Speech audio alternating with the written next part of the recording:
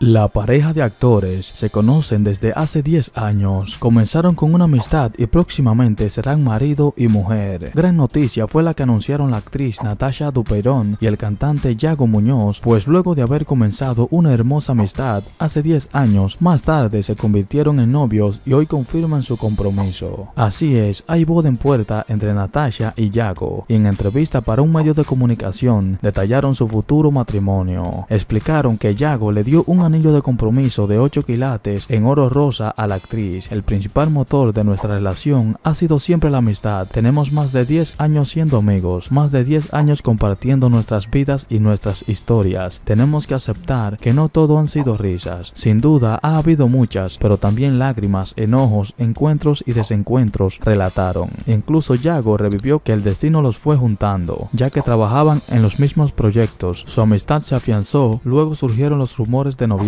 hasta que se dieron una oportunidad y hoy están por llegar al altar.